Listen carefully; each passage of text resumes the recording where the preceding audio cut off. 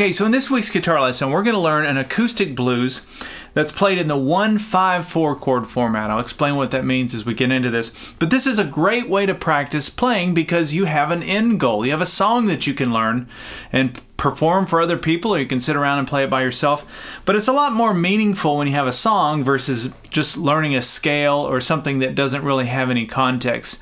And so uh, as we go through this video, um, just remember there's more to it than just memorizing how to play the song. That's part of the story, but the other part is knowing the why behind the notes so that you can improvise and write your own compositions like this. So we're going to break all that down. I'll explain how to play them and I'll explain where the notes come from as we get into this.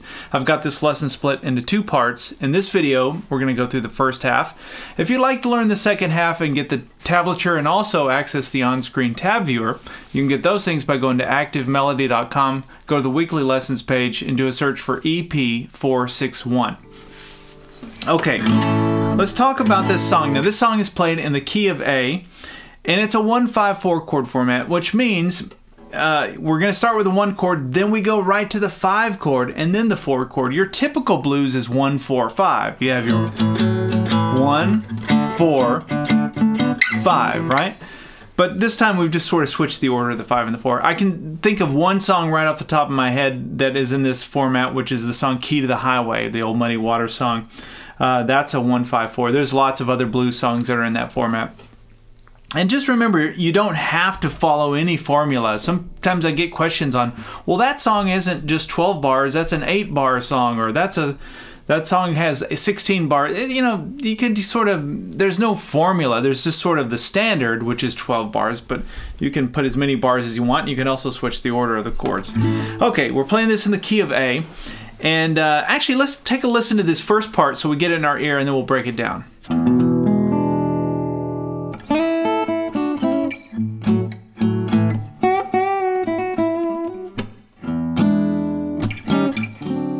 Okay, so everything I'm going to be playing is really either minor or major pentatonic scale for the key of A. So it's either going to be A minor pentatonic scale or A major pentatonic scale. I'm talking about all the lead, the licks and things. They're all coming from one of those two places. And in this lesson, we're going to be blending the two in a few spots and uh, trying to make that as seamless as possible. So anyway, just keep that in mind. That's where all the notes are coming from. Because the song's in the key of A, that's where we're going to be at. Okay, the first thing that's the first lick. That's a call, and then the response to that is the rhythm. So this call is coming out of the A chord here, which uses the E shape from the CAGED system. So I'm barring on the fifth fret, but you can look at these three fingers and they're making up what would be the E chord. Think of your E chord in first position. If you were to reposition that it up here, you're playing an A chord. So that's why uh, we call it that. So this first little lick is really just the top part of that bar chord, which would be an A triad up here. Now I'm playing this, the notes are coming from the A major pentatonic scale pattern 2. So that would be those notes. So we're going to slide into the 5th fret, strings 1 and 2, uh, barring that with our index finger. Second string, first, back to the second, and then strings 2 and 3 on the 7th fret, and then bar strings 2 and 3 on the 5th fret, with a hammer onto the 6th uh, fret third string. Now, why did I go to this? Because somebody's going to go, wait, wait, that note's not in minor pentatonic scale. It's not, but it is in major pentatonic scale pattern 1. Right? So that note, this is an interesting thing because you have one note that's minor pentatonic, one that's major, but in actual fact, that's just uh, playing the four chord. So one typical move that you hear in the blues when you're hanging out on a chord for a while is you can go back and forth between the one and the four chord. So if I were to play the D chord, which is our four chord, and use the A shape, but only play strings two and three, that's where that's coming from. So anyway, I didn't I don't want to get too into the weeds there, but that's what's going on with that little part for that. And then we do the hammer on and build the bottom part of the triad. Now, this is a Blues 101. You got to get this because it's in everything. Piano players do it in the blues, guitar players do it. And think about it in relation to this chord shape. So if you're playing a blues using this chord shape, don't even think about the key. Just think about shapes for now. You hear that all the time, right? If I was playing in G, Right? So anyway, that's just a lick you need to know. And then we go to the response. This you also need to know. This is a rhythm that's just a shuffle rhythm. We're going to be on strings 5 and 4, the open 5th string, and then the 4th string, uh, 2nd fret. So playing those two notes, and then I use my pinky up here on the 4th fret 4th string. You can use your ring finger. The old blues shuffle in A. So, whoops, let's try that again. Call. So the timing of that And all I'm doing eh, by going back and forth, since I don't have two necks and then, you know, four arms, I can't play the rhythm and the lead at the same time. So I have to go back and forth. And that's just sort of a strategy uh, eh, when you're playing by yourself like this, is to play a little lead thing and then go into where the rhythm part would be. It just sort of defines it for the listener.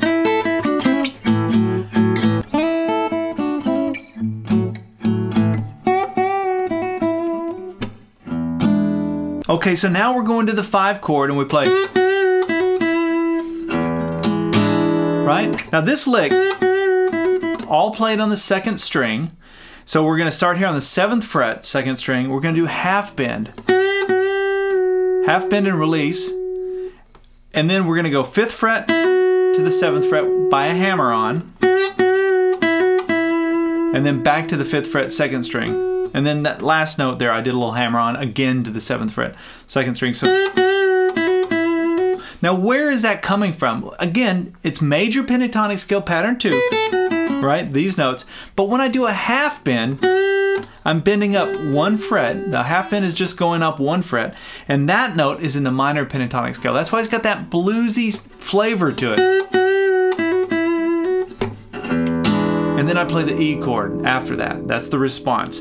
Now the E chord there is the same as your C chord. Think of your C chord in first position. If I were to move that up where my ring finger is on the seventh fret, but then I put in my pinky on that seventh fret third string, only play the middle four strings. Actually, when I played that, I hit that open sixth string, and then I played that. That's an E7 chord. Right? So then after that, we go to the four chord. Let's listen to it and then we'll break it down.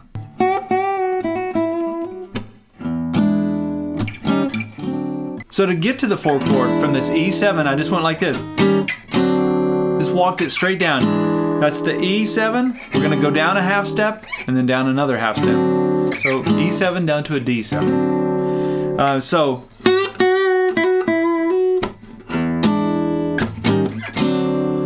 Um, now, once we're down to the D7, I came up here and played uh, a response to that. Now let's listen to it because there's kind of a lot to this part. This is probably the most complicated part in the whole thing. We'll listen to it and then we'll break it down.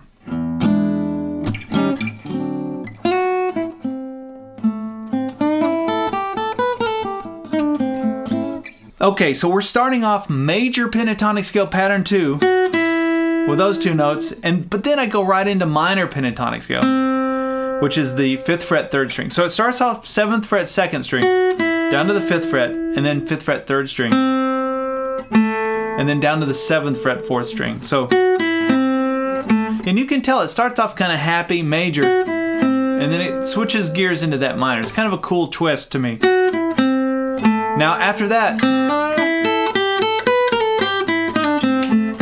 That's the next lick. Now we're going to look at this lick in groups of three. There's a, a series of triplets. That's the first one. So that's going to be barring the first two strings. Now this is going to be mixing the minor and the major pentatonic scale in different spots. So we're going to start off minor pentatonic scale, classic blues lick, bar the first two strings on the fifth fret, and then we're going to play seventh fret third string, a bend. Now I can't do a full bend on an acoustic guitar, so I do bend it as far as I can. And then we play strings two and then one. So that's the first group of three. Now the next group of three goes, so that's 8th fret second string, 5th fret first string, 7th fret second string. So you can see minor pentatonic scale pattern 1, that note's major pentatonic scale pattern 2. We're right in between the two, we're mixing them. Now the next group goes like this. And that's a quick ham or quick pull off between the sixth fret and the fifth fret on the first string.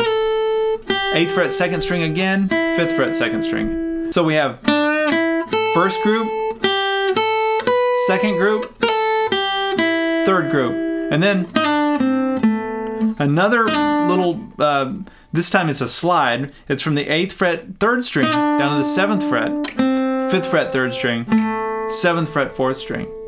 So let's piece all those triplets together. We have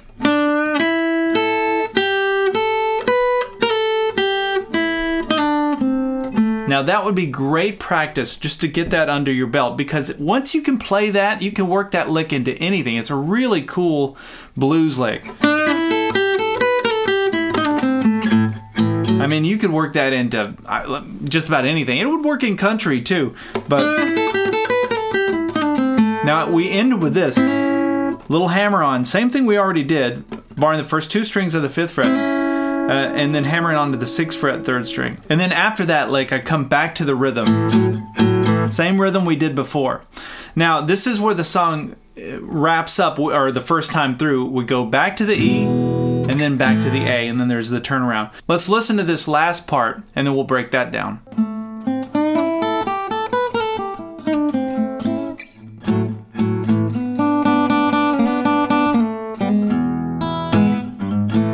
So what I played here is a series of triplets. There's another series of triplets, but we're going to be playing, in this instance, we're going to be playing E minor pentatonic scale pattern 2. So I'll explain it in just a minute. Let's connect that to our E chord. So we're going to play our E chord down here. Actually, we're not going to even play the chord. We're going to go into this little lick here. Let me show you the lick. Middle finger comes up here to the fourth fret, third string. Index finger, uh, third fret, second string. So you pick that third string and then you do upstrokes on strings two and three like this. So that's how I play it. Now the first time through, I played five of them. So let's take it from that A rhythm. Hear that? So it's A rhythm. Let's do that again. Did a group of three. So the first time it was five of them, the second time it was three. One, two, three, four, five, one, two, three. And then we slide down to the second fret and then do a hammer on on the open open third string to the first fret first fret third string. Now that's a kind of a John Lee Hooker type lick. That's another great blues lick. Even though we're playing this song in the key of A, and most of everything, really everything we've done up to this point has been A minor or major pentatonic scale for the five chord. It's okay, or it's actually okay for any of the chords, but in this one case, I like to slip out of the minor pentatonic scale for the key of the song and just play the minor pentatonic scale for that chord. So the chord is an E chord. So I played that lick, an, an E minor pentatonic lick.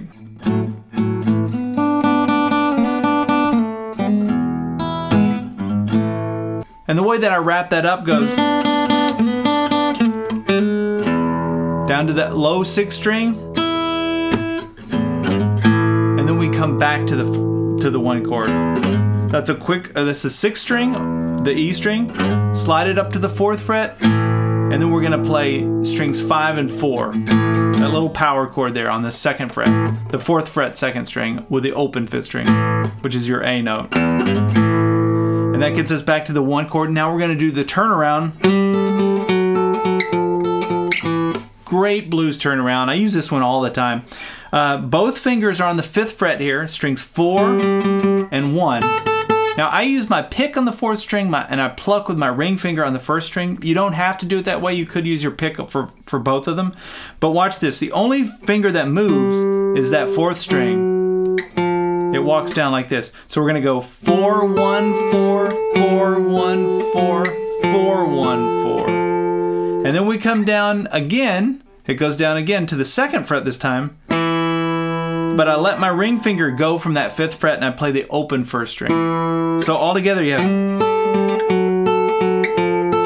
I mean, you've heard that in so many uh, ZZ Top songs, right? And then the, the last little five chord, I did like an E9 and I played it up here. So you can play this chord up up in position. Now we played the E7 already up here. It's the same thing. You can just take um, reposition your fingers. So think of your D7 chord in first position. If you were to play that chord up here where you've got your middle finger on the 7th fret 5th string, it would look like that. Now just take your pinky and add that to that 7th fret 2nd string. But we're to start it a half step up and then come down to it. So great little turnaround. And uh, so that's really what we have for this first half. Now there's another whole part, and you know, and it's just as exciting, a whole new set of licks. Let me back up and I'll play through this one more time so you have one final version of it, and then we'll see you in the second part.